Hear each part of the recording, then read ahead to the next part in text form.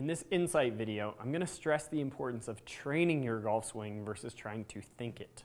So I, I do this, this three-hour clinic called the Consistency Clinic, where basically I, I throw a lot of information at these poor unsuspecting golfers. And we start off with 20 minutes talking about contact, ball flight, and then essentially what we're trying to do with impact. So what positions we're trying to get to, how we're going to get there. Um, it's on a very high level though. After this little introduction, we always go out to the range and I give them about 15 minutes to get warmed up and to just process the information that I gave them. And I have yet to have anyone make significant improvement from just hearing that introduction of, okay, here's how you're gonna interpret contact, here's how you're gonna interpret ball flight, here's how I want you to get into impact. Just by hearing what to do, they go out there and I can tell you, I've never had someone have significant improvement just from that 20 minute part. What then happens is we come back in and we go over all these drills to help break down the key movements so that they can then start training them. And as they put in repetitions throughout the clinic, their swings tend to get better and better, and then they start to be able to use that information appropriately. Can also, with my students, I tend to find anytime a golfer comes in and they're struggling with a specific movement, my first question is always going to be, well, how have you been training it?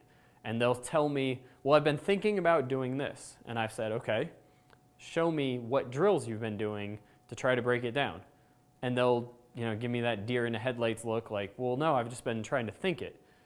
And I can't stress enough that even if you understand it, just trying to think your way through a golf swing is never going to work. You have to train it. You have to do the whole Mr. Miyagi to Daniel-san thing. You know, if this whole wax on, wax off thing is a very simple movement, right? If I told you, hey, all you're going to do, I'm going to throw a punch and you're just going to go like this and it's going to block it, right? Sure. Sign me up for a fight. I know what to do. I'm ready for it. Probably not. I'm going to get my butt kicked. But Mr. Miyagi was smart. He had Daniel-san do 10,000 repetitions of each of the key movements that he was trying to train so that when he was able to just say the movement, he could recall it very, very effectively. That's the purpose of my isolation drills and the drills that you'll see in the different sections of the setup and the release and the backswing and the transition and the, all the key pieces. I've broken them down so that you can train each piece to then put it back in together, which I've found works really well for performance. But if you're just going to watch the videos and try to think your way through it, I can guarantee you it's going to make you more confused and probably have you performing worse. So watch the drills, and then when you have questions, either submit your swing via the submission or fill out the decoder. Let us know what's going on so that we can help guide you as to where you might be missing out on that last key little ingredient.